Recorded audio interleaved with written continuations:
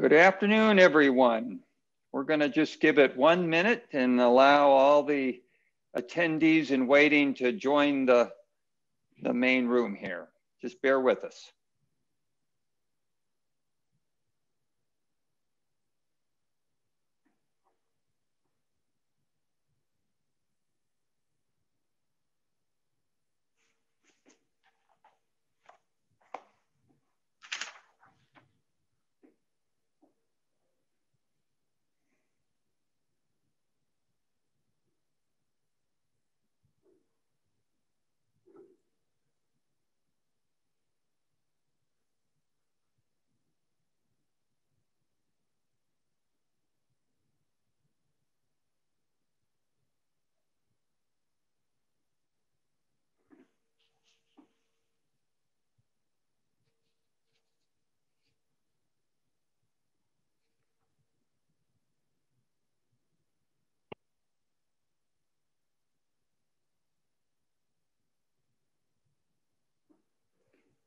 Okay, we'll go ahead and get started and allow the other attendees to join as they come in. Well, welcome everyone, and thank you for joining us. I'm Jeremy Haefner, Chancellor here at the University of Denver, and it's my delight to host the first uh, fall quarter webinar town hall meeting of the parents and families of our students. And it's absolutely just great that you're joining us today. We are in week five, I can't believe already, uh, almost halfway done with the fall term. Uh, and so excited, so excited to have uh, your student with us um, here on campus or in our classes in one form or another. I'm going to give a quick overview of what we've learned in the past few weeks, as well as some highlights of our successes. So I'll do that. Um, and then I'm going to invite Provost Mary Clark to come and talk for just a few moments about uh, really what you can expect moving forward, especially in the winter and spring quarters. Then she'll invite Stephanie O'Malley, who is our Associate Vice Chancellor for Government and Community Relations, and she's going to talk about some of DU protocols and how they relate to the city of Denver, uh, because our partner is the city of Denver, and we work very, very closely with them to ensure that, of course, our faculty, students, and staff, as well as the surrounding community members are, are safe and healthy. And then finally, we're going to leave plenty of time for Q&A. So we're going to go ahead and get started. I'm going to I'm going to introduce the other panelists that are with us here. You've um, seen uh, Mary Clark wave already. You've seen uh, Stephanie O'Malley wave already. Um, we have a brand new Vice Chancellor for Student Affairs, Todd Adams. Todd, would you wave to the group? Michael LaFar many of you have seen before. He's our executive director of the Health and Counseling Center. Sarah Watamura is our COVID-19 response coordinator and of course, faculty member and department chair uh, in our Department of Psychology as well. And then finally, uh, as a panelist, we have Mike Holt, who is our interim director of campus safety, and there he's waving as well. So all of these individuals will be helping us um, answer questions live. We also have a team behind the scenes that will be answering your questions uh, through the Q&A, and we do invite you to use the Q&A to send your messages forward to us. All right, so uh, let me talk a little bit about how things are going on campus, and I, I couldn't be more proud of how things are really um, working out extraordinarily well. Um, so with, with the first aspect, I want to express some great gratitude to especially our students, uh, right? We have um, put them into an environment that is much unlike their typical college kind of experience that uh, either the continuing students expected or uh, the new students might have um, aspired for. And they are behaving for the most part, extraordinarily well. I uh, am on campus a lot. My wife and I come on campus in the weekends, uh, and we see students wearing masks, staying physically distant, um, respecting all the other protocols. Um, and I'm really proud of them in so many different ways. Yes, we've had a few, few students uh, take liberties with the protocols, and I'm sure we'll be talking about those as well. But for the most part, our students are responding extraordinarily well. I just wanna thank them for their behaviors and for their resilience. I wanna thank the families though too. You've been supporting the students along the way. Uh, and that is incredibly important in a time that is so unlike other times that we've had at the University of Denver. Our faculty and staff are just um, rock stars for us. Uh, faculty delivering, of course, the coursework in a variety of new modes and uh, different ways of delivering courses. Our staff that are here, the staff that are working behind the scenes as well, are just um, um, wonderful ambassadors for the university, making sure that students are well cared for, um, that their questions are answered and, and they're supported in so many different ways. It, it literally took a monumental effort by so many people, um, but it has paid off because of where we are today. I'm very, very appreciative of all the work that's been done. Um, you know, our first and foremost principle has been always to look out for the health and safety of our community members. Um, and we keep that at the very top of the list of our priorities when we're making decisions. The one that's right next to it, of course, is the educational experience that our students are having. And I hope that through the course of today's Q&A, you learn more about that commitment. Equity, because we know that COVID is not equitable at how it treats everyone, is another issue or another principle that we bring to our decision-making process as well. All of this, of course, the environment that we find ourselves in does take its mental toll on our students, on our faculty and staff for that matter. Um, and we're certainly making sure that uh, we care for them and that we have plenty of resources to help support uh, their mental health as well as their physical health. We're trying to listen um, uh, not only to our students, but to you parents. This event that we have today is just an example of that. I thought I'd share though now just some lessons learned um, that we've taken away because while I'm very proud of where we are, everyone knows that it's not perfect. Um, and so some lessons that we've, we've learned along the way is that we have always made sure that we could do more about communicating with our students, especially when we're requesting um, focus testing. Uh, this, this is a, a, process that we've learned over the course of the last five weeks. There have been pockets of uh, some indications where we wanted to do some more testing and how we went about that, giving them enough time. Those were some things we took away from that. Better communication with our students. So that's one lesson. A second lesson was to make sure that when a student is tested positive and they do go into isolation, or they've been in contact with someone who has tested positive and they have to go into quarantine, that we make this process as comfortable as possible for them because it is already uh, uh, a situation that creates some anxiety among our students. So we've listened and, and learned to them about what we could do better to make sure that uh, that experience of our students either in isolation or in quarantine is the best possible. And the third um, lesson learned, I think, is really helping to set high standards for behavior expectations but also providing outlets for important social interactions. And we've heard a lot from parents, uh, and that has helped uh, us provide even more activities. I'm sure you'll hear from uh, Vice Chancellor Adams today about some of those activities. So those are some of the lessons learned. Uh, and there's been lots and lots and lots of successes that I thought I'd share with you though.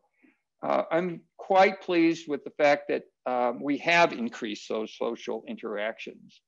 Uh, and now um, Dr. Adams is actually sending out messages on a weekly basis to help students really take advantage of some of those activities. He sent one last Friday uh, that gave not only activities on campus, but some safe activities to do in the city of Denver.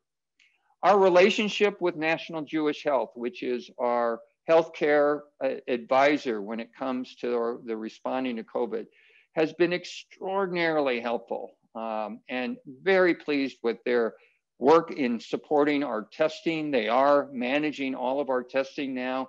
Um, they're also giving us advice on our protocols and how we go about, you know, working with isolation and quarantine structures as well. So that's been extraordinarily a positive experience. As I mentioned earlier, um, the city of Denver is our partner in this. We're working hard with uh, Denver Health Department to make sure that we are quick and responsive to any outbreaks of the virus that might be occurring, working both um, with the city as well as the state on that. We're, we're happy that that is moving along very nicely. Um, our faculty, I've already kind of mentioned how grateful I am for their willingness to really provide flexible options. Um, this, is, this is hard for them to balance both an online course and a face-to-face -face course simultaneously. That's what we call HyFlex. Um, and, they're, and they're doing a wonderful job at learning and making adjustments as they go. Our contact tracing, um, there's, two, there's two features that uh, have proven to be very successful in helping us manage the virus in many respects. And one is testing, and one is on uh, our contact tracing. Uh, we have been very successful at getting the campus community to download our contact tracing digital app. That's called Everbridge. We now have a 70% compliance with um, our community, which is phenomenal. Um, that is the kind of participation that we need to see it fully reap its benefits, if you will. We also have manual contact tracing, so people are calling people on the phone uh, to try to make sure that we um, reach out to those that might have been exposed to a positive case. And then I think, uh, and this is really attributable to a, a, a very large team that Sarah Watamura runs, and that is our quick responsiveness uh, when we get the slightest indication that there may be some cases emerging. We, we have now implemented um, a wastewater diagnosis. Um, so the wastewater actually gives us quite a bit of a heads up of a possible uh, positive case, whether it's in the residence halls or elsewhere on campus. And we act quickly uh, then to decide whether additional testing is necessary on that. And so uh, a big success of the university has been that responsiveness. So I hope this gives you a little bit of sense of um, where we are today. Uh, I'm very positive. I'm so grateful you're joining us. And now I'm going to ask Provost Mary Clark to give us a little indication of what to expect in the future. Very good, very good. And I'm glad to do so. Hello, everyone. And building on all that we've learned from the fall quarter, we've been thinking ahead to the winter and spring quarter. Our guiding principles, of course, are health and safety of your students and the quality of their experience, their academic experience, their co-curricular experience. Uh, we're mindful that uh, students uh, relish being challenged in the classroom and they also relish the social connections with their peers, with faculty and staff on campus. So we're looking um, at how to balance uh, all of these different interests. I think uh, some of the lessons that we learned from the fall that we plan to implement moving forward include the importance of a sequenced uh, return to campus. So we're looking at um, sequencing the return to campus in order to de-densify that particular uh, experience. Uh, we're also looking at uh, the uh, importance of quarantining uh, students um, and testing, as the chancellor highlighted, uh, we think it's aggressive uh, testing um, that has really enabled us uh, to be so successful as compared with many of our peers. And so we'll continue to do that. Uh, but I mentioned these by way of saying uh, we're really um, focused on health and safety first, uh, and then also on the quality uh, of the experience that your students will enjoy, both in the classroom uh, as well as the co-curricular. Uh, we do anticipate a return to residential experience uh, in January and just want to be very clear about that. Um, would welcome your further questions when we get to that time.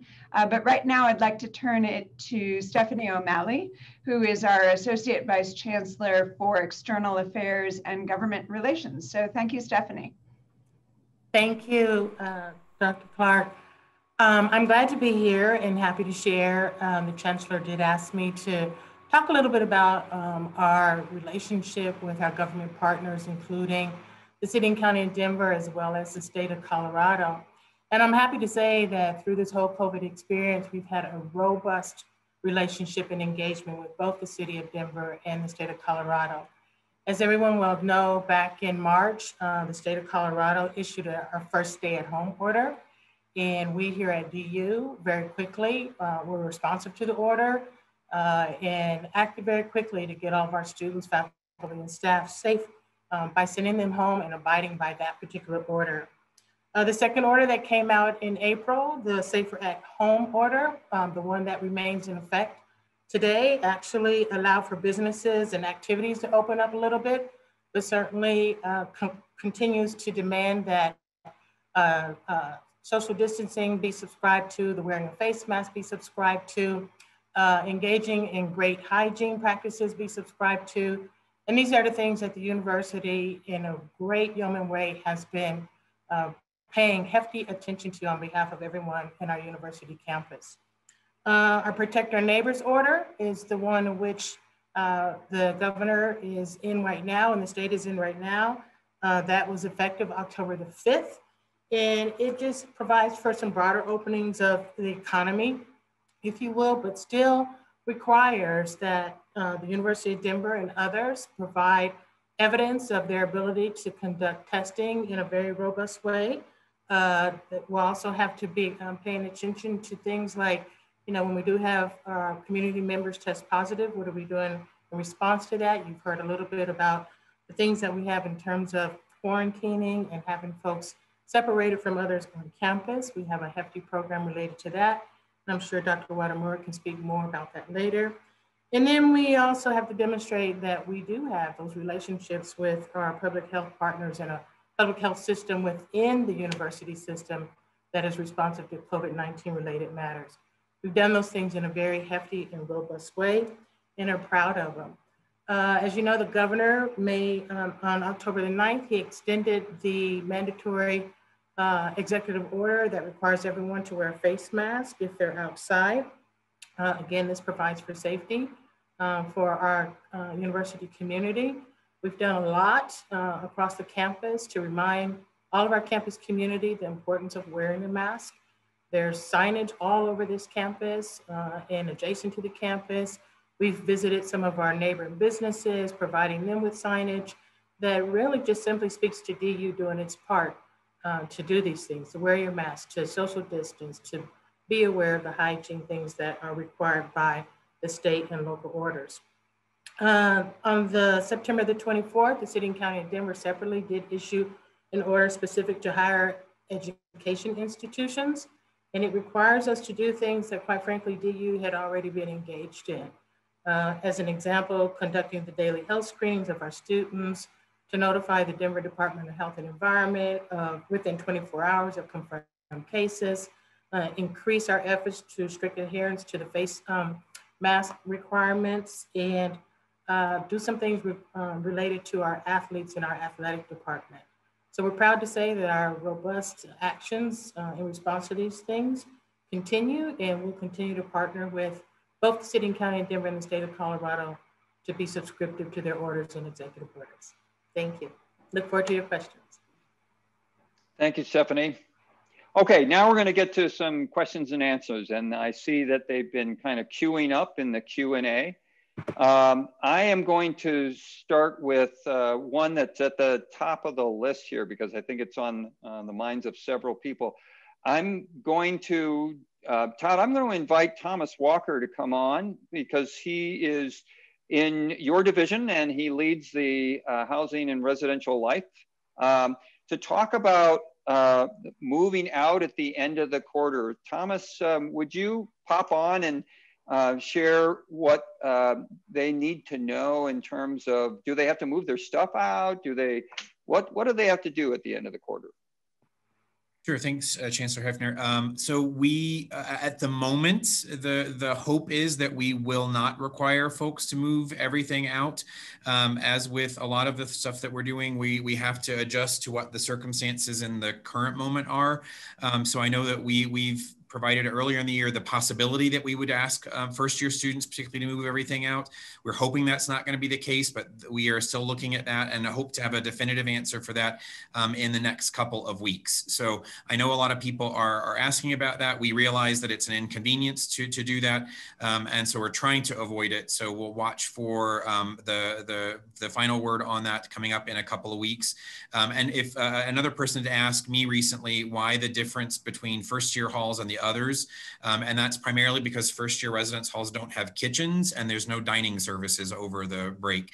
Um, and so first years, we, we don't have a way to feed them or for they, them to feed themselves. And that's why that distinction is there. The upper class halls that have uh, kitchens in their apartments um, or suites um, are able to stay because they can feed themselves. So that's the, the quick and dirty version of that. And I'll keep watching for other questions in the Q&A. Well, and Thomas, um, I think one of the specific questions was, do they have to have to move their stuff out if uh, if they're asked to leave the dorms and at, at, that point in time? Is is that still up in the air as well? Yes. Uh, so okay. we, we, that was a possibility. Um, uh, if we do kind of a harder close, we don't think we're coming back for winter quarter. We don't know that yet. Um, and so again, we we that had been a possibility, but at the moment, the the hope is that we won't have to ask that. They can leave whatever they don't need to be able to access for the break. But again, in a couple of weeks, we'll have a, a final decision on that and communicate that out. Very good. And of course. Um, everyone uh, around this grid uh, is making assumptions and plans, of course, that we're going to be open uh, back on, uh, in the winter quarter. So the next question really is for Todd directly. Um, so Todd, the question is, uh, you know, what are the possibilities for social activity interaction for students outside, especially first year students that need to build community and friendships? Um, the writer goes on to say multiple universities are hosting events that must be signed up for that are socially distanced, movies, dodgeball, uh, outdoor spaces with fire pits and chairs and so forth that are socially distanced. Why don't you talk a little bit about what DU is doing in that space? And you're muted.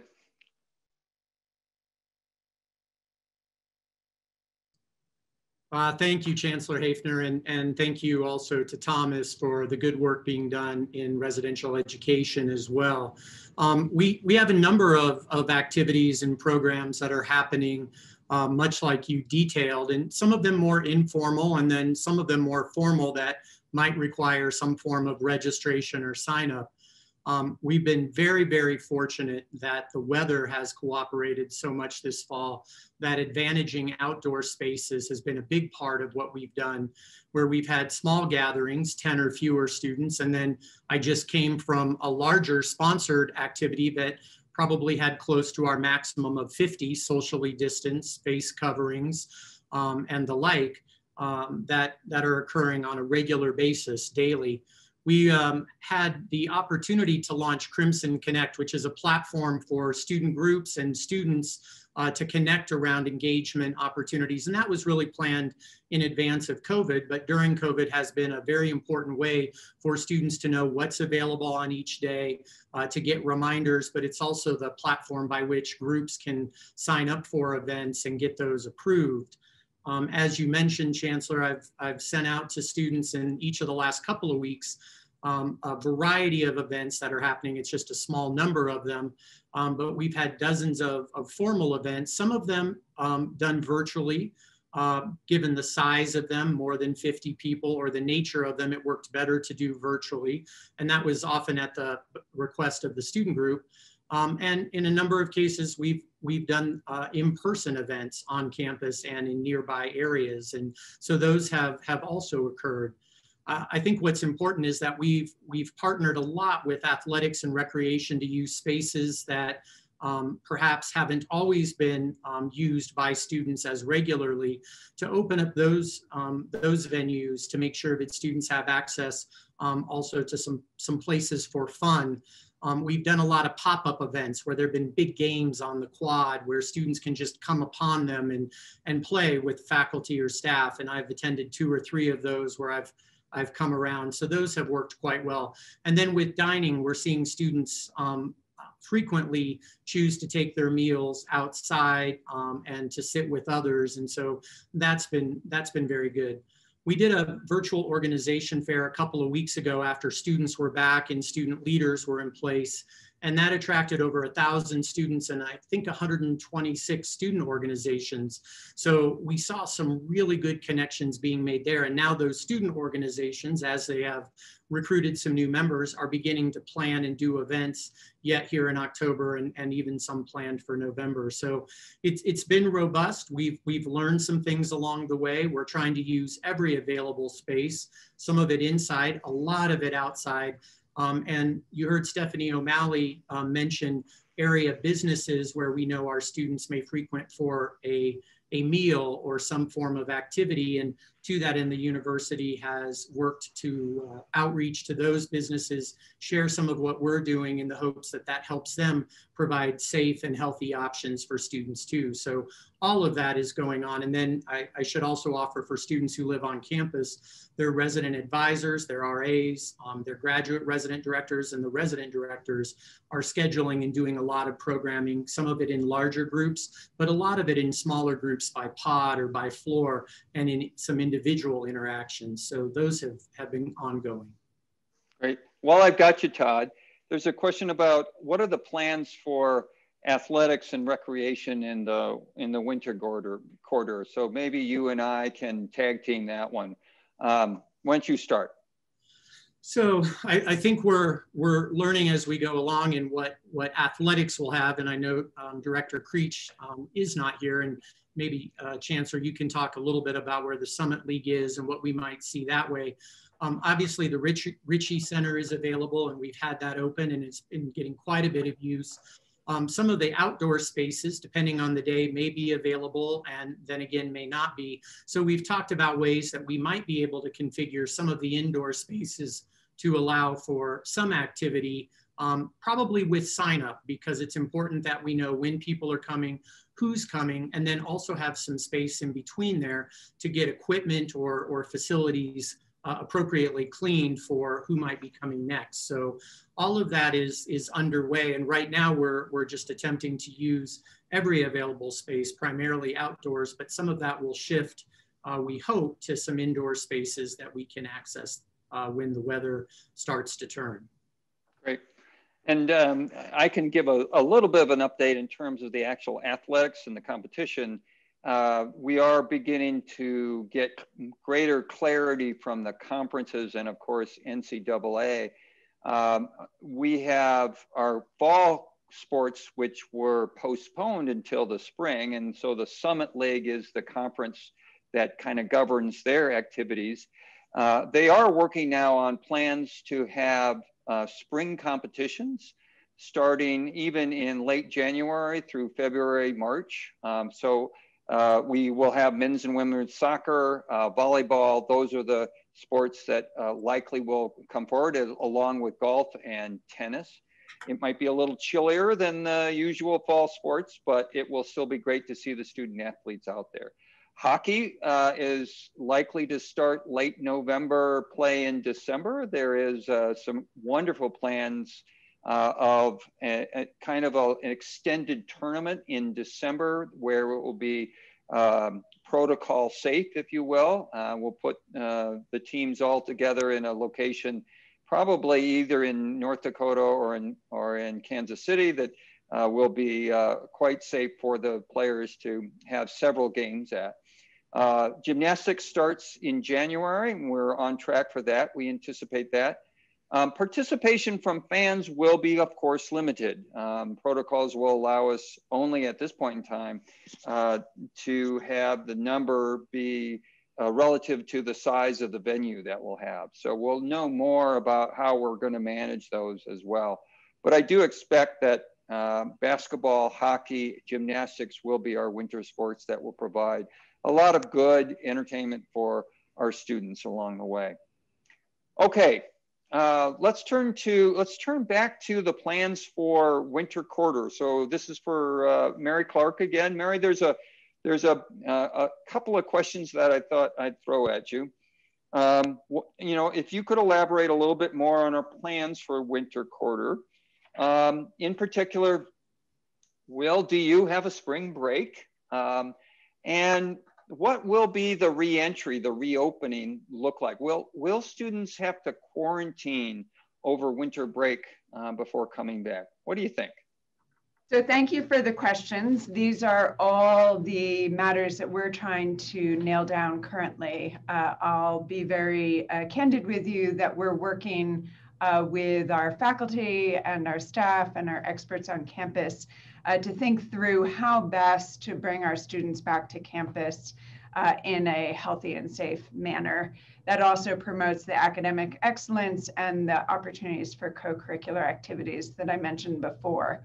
Uh, we are looking at a, a, sequenced return to campus over a period of several days um, potentially starting around January 3rd and moving forward from there.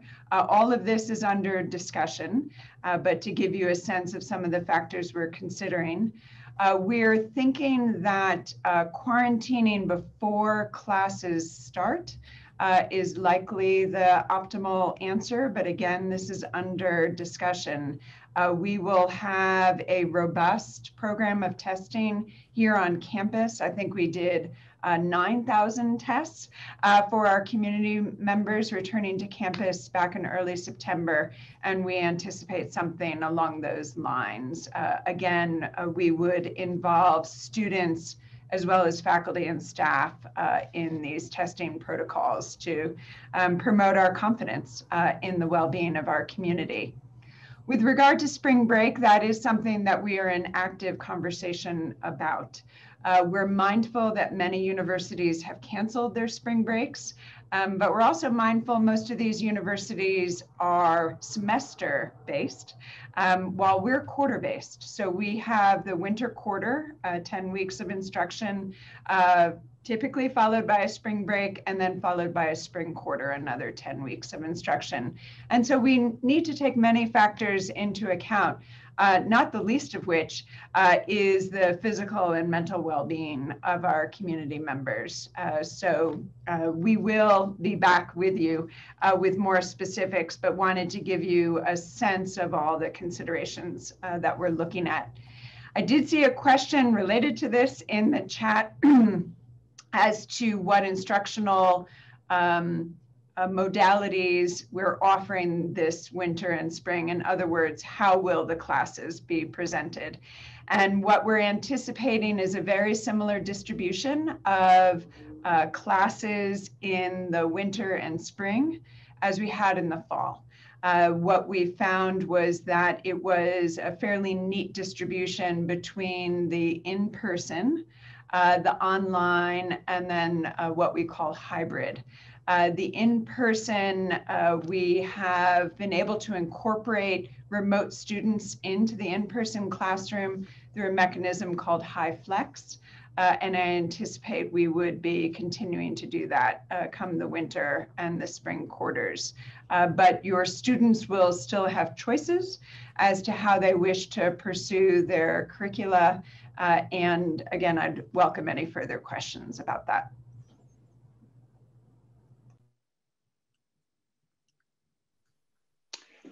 Thank you, Mary. Um, I'm going to um, ask Michael LaFar to come on the screen. Uh, there's a question, and, and Todd Adams may also want to chime in here. There's a question about helping students cope uh, with the challenges of quarantine and isolation. And I'm just wondering how, if we could um, just say a few things of how we're handling quarantine and isolation, how we're uh, making sure that the students are supported, both of course through you know food and and uh, a little bit of outdoor recreation, but also that very important mental health component as well. Thank you for the question, Chancellor. Um, Yes, one thing that we, a lesson learned that, um, you know, during this process, we found that quarantine in particular has been really challenging for our students in that they're in that waiting period and they're waiting to for their test results to come back and they the routines have have been changed. So it's been very important for us to connect them socially to connect them with additional support services so that they can feel that you know while they're in this moment of of waiting to find out if um, you know if for their tests to come back um, that they have connections to each other. So the counseling center has done a quarantine group, which is a which is a, a, play on words for students who are in that space that want to connect with other students. We of course offer robust counseling services. Um, most of those are in, in uh, are virtual, but they we also do offer in person for those folks who need need that level of support while folks are in quarantine, the RAs have been reaching, the home RAs have been reaching out to those folks in isolation and quarantine to give them that social that social connection. Each of the students is given a um, an SOS, which is a, a case manager to be ensured that their needs are being met. In addition to, of course, the contact tracers giving them resources, as well as the counseling center reaching out to be sure that um, we want folks to know that we're here. This is a caring community. This is a, a community that looks after one another. And we want students to feel that, in particularly when, when they're in these vulnerable positions. Terrific.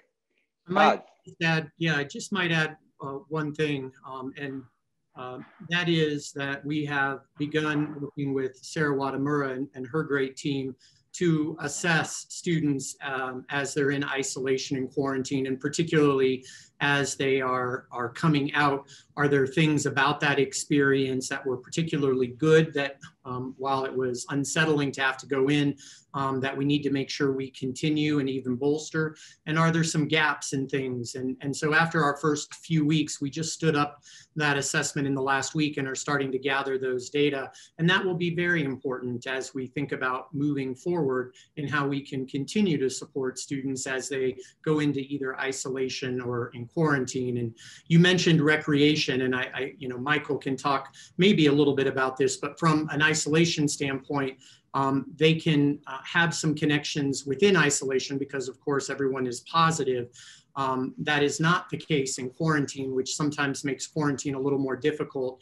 Uh, so in working with, with Michael and others, being able to provide a little bit of time for students to get some outdoor recreation in, in small pockets uh, in order to um, get a little vitamin D, but also to um, um, have some connection outside, even if they're not able to meet individually with any student or anybody. So we've learned some things in the first few weeks, and that is that has been very helpful. I think our assessment will only help us do this better as we move forward.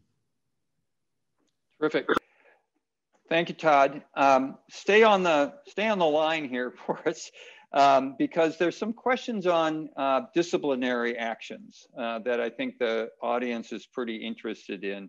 Um, in particular, you know, why don't you walk the audience through what what we do once we know that perhaps there was um, some behavior that didn't follow protocols. And Sarah Watamura, you may want to chime in too on this, tag team with Todd a little bit, but let's walk the audience through what we what we do along the way so they're fully informed. Sure, and thank you for the question. And, and of course, um, every situation can be different, but if we understand that students, for instance, gathered um, in numbers beyond what we would allow um, for an unauthorized event, um, we will follow up and, and, and really we'll, we'll take two actions. I, I, think first and foremost, we will, as we know about that, issue location restrictions um, for those students who were involved. And what that does for us, if a student lives on campus, asks that other than going and having a test, which we would request that they do, um, until such time that they get the results of that test, that they um, will um, quarantine in place, if you will, um, and will stay in their location. If they're off campus, that um, and that everybody would do their classes, even if they had some in person, would do those remotely. If they're off campus, that they stay off campus pending the results of, of, of a test.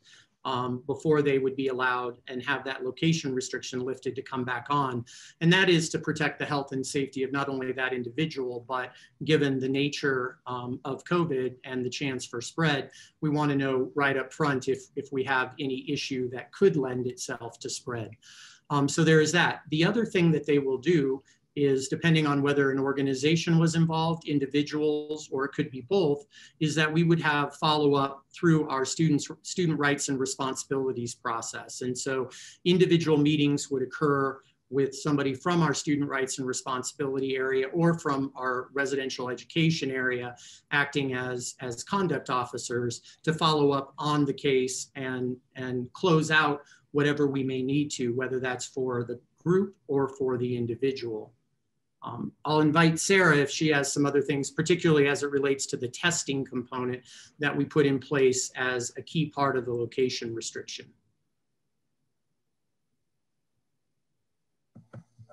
Sure, I'm happy to uh, join in the conversation. Um, we have, uh, the way we have approached it for both students in quarantine and for location restriction is to ask students or require them to have a test right away.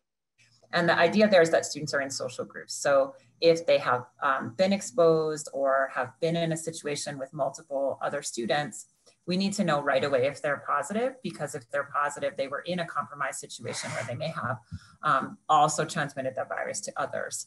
Um, once we have that negative test, then um, whatever other disciplinary action is necessary um, has to do with other factors of the situation. So for example, if alcohol or drugs were involved, um, and those are pre-existing processes that, that happen in a non-COVID year. So the idea behind the testing is that we need to know before students are, are released from uh, restriction, whether they are positive and may have um, transmitted the virus to others in that group in that unsafe setting. Sarah, stay on the line here because um, I think there's an interesting question in the Q&A there. Um, and that is, uh, uh, uh, someone is asking, are, is there a pattern as to how students are catching the virus that we're noticing here at the University of Denver? Um, you've got some really great data and some good observations. Why don't you share that with the group? Sure. Um, so we do pretty extensive uh, what's called backward contact tracing to try to figure out where the patterns are, where are people um, potentially catching the virus? Um, where do we see pockets? We uh, look at a number of different things. So we look at things like where are people physically located, what type of living arrangement, um, how, what type of shared bathroom space, um, even, you know, sort of what is the layout of that particular residence hall, um, where are they in class? We look for patterns in classrooms. We look for uh, membership um, in different types of organizations. We look at year, unit, major, all of these kinds of things every time to get a get a positive so that if we detect any kind of a pattern we're able to um, aggressively go forward with it. And i would say that the most consistent pattern that we've seen um, tracking that data has to do with uh, congregate living. So um, and this is consistent with what the city and state also sees. Um, this virus is just very likely to be translated uh, transferred when people uh, cohabitate, right? So just like a common cold, it runs through a household. Um, that's the that's really where the action is at, and so we see that um, in congregate housing, both on and off campus, um, both official and unofficial. So you can see it run through an apartment or a house that uh, has a lot of roommates and that kind of thing. Um, of course, the best thing that students can do to restrict the chance of this happening is to restrict the number of people with whom they have close contact.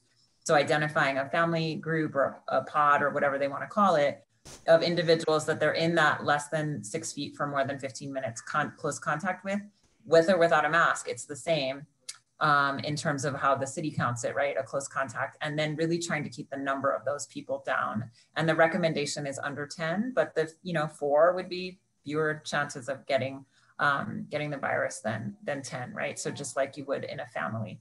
Um, so those are our kind of our top recommendations. There are a couple other things that have come up in the questions I was typing um, that I can just answer now. So uh, uh, individuals in a single can have another person from a single in their room. Um, so someone was asking, can they have this social pod up to four? The singles are small rooms, and that's why we can't go up to four in the room. But uh, individuals living in a single are also welcome to identify a pod of individuals that they're in close contact with, right? And, and try to spend more time with those folks and less time with others. Um, and, and that's definitely something you can uh, go ahead and do. And the other question was, can you ever quarantine in your own room if you have a private room? If you have a private room with a private bathroom with your own ability to have um, like a refrigerator and a microwave, that kind of thing, then yes, you could quarantine in your own space. But you do have to be able to have your own restroom, have your own sleeping space, and have the ability to have food, or else you um, can't quarantine in that own in your space alone. Um, and that's why we have um, so many spaces reserved around campus and uh, in the Denver area to support students who need to quarantine. Chancellor, if, if I could add a couple of things that I think also came up as Sarah was, was giving some really important um, answers there. In talking about location restriction, if a student is on location restriction, how long does that last? And of course, it depends on when they can go and have a test and then receive the negative result. But assuming that they can go uh, within the day and get it, um, get tested, generally speaking, and it's not altogether, um, you know, we, we rely on our partnerships for this and doing the testing, but um, generally within a day of the test, we will have the result. So if they have a negative test, typically we've seen location restrictions last two to maybe three days at, at the uh, outset. Um, but it could be longer depending on a student getting in for testing and getting that test back.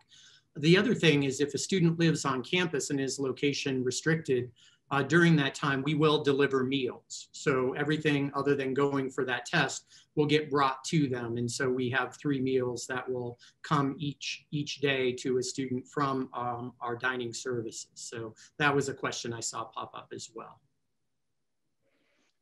Terrific. Um, so here's a question. This is uh, back to Provost Clark, Mary. Um, uh, let's talk about grading systems. There's a question of, um, is there, will there be an option for pass or no pass for any classes this fall, winter, and spring due to the unique class arrangements?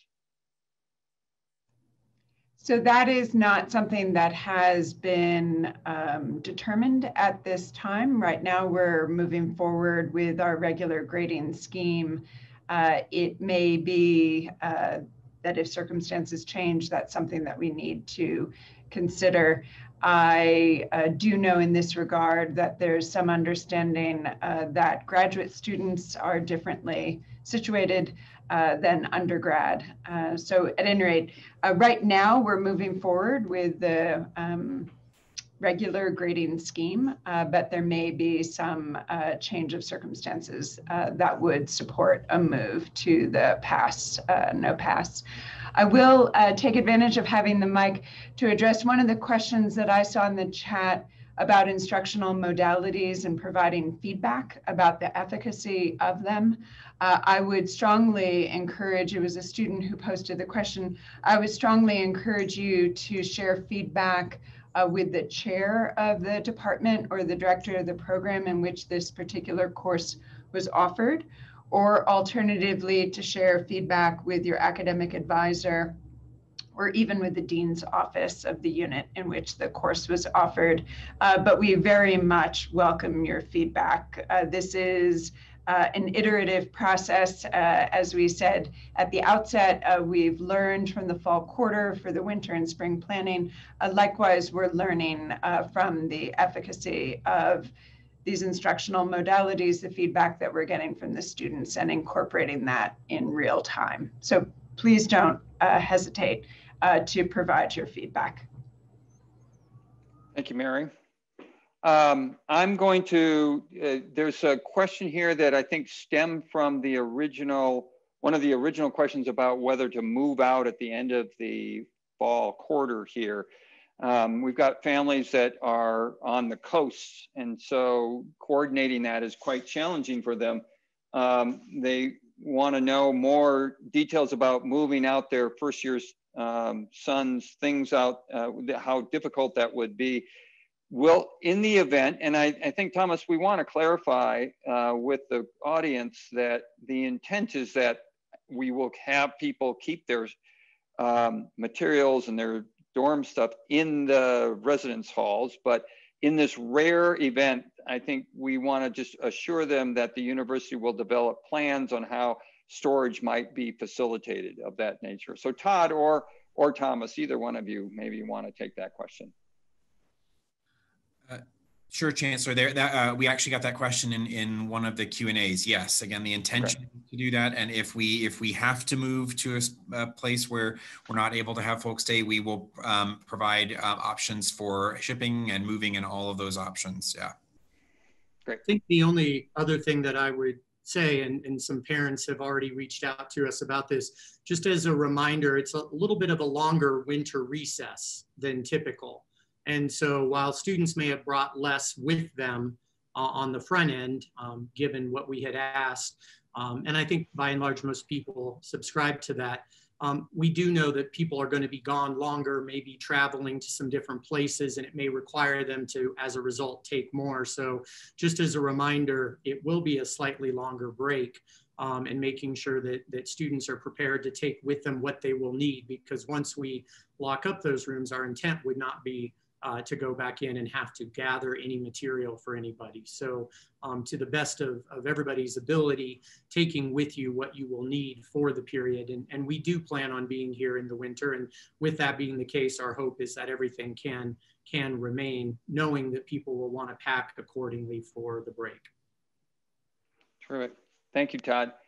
Um, question here, uh, I, and I, I think it's for a regular spring commencement. There's a question here from uh, parents or grandparents about graduating students and what is the plan for graduation. Um, uh, will they be able to attend something face-to-face or, or, are we already planning a virtual ceremony?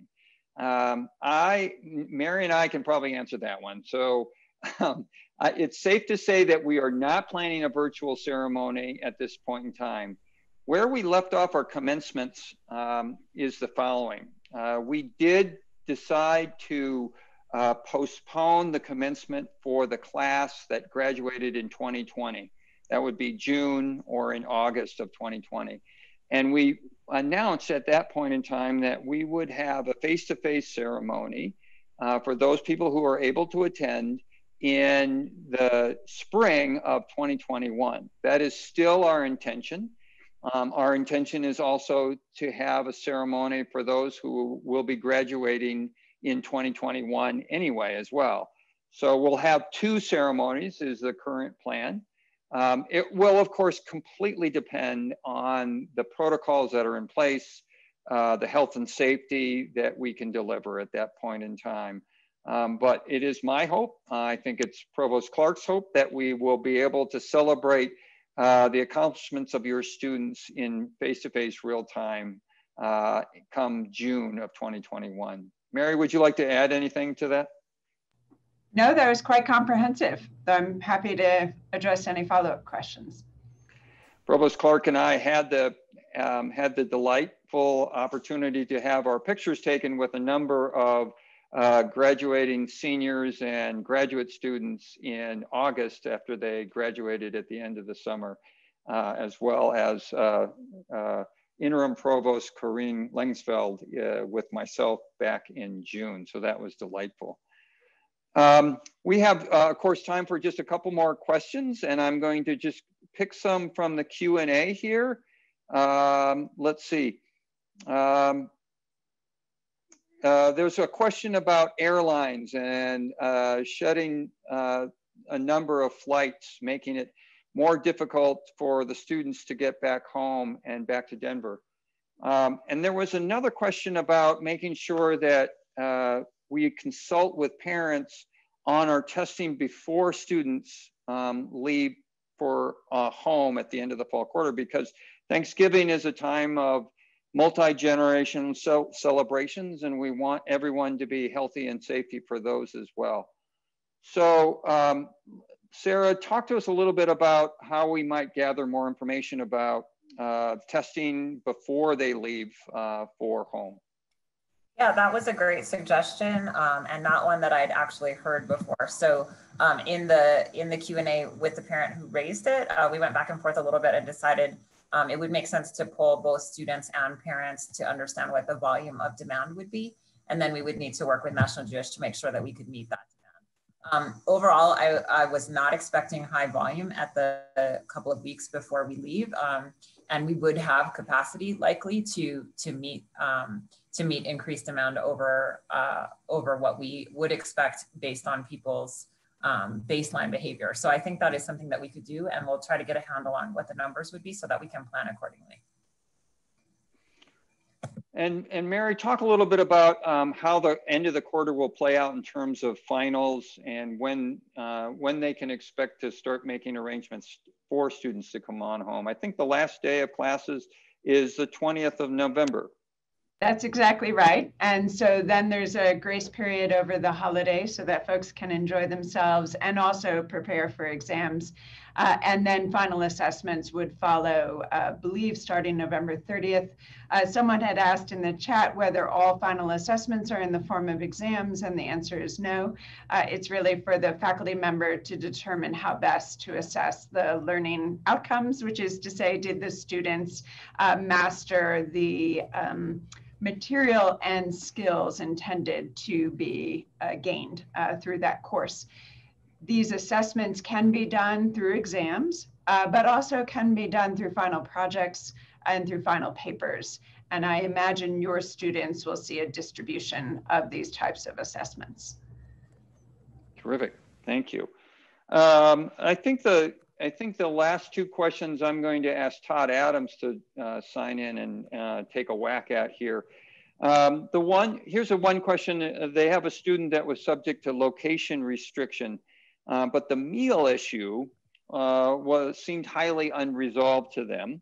Uh, they, he said that they had to be ordered in advance and he didn't know that he'd be, how to do that exactly. There were a lot of takeouts, for example.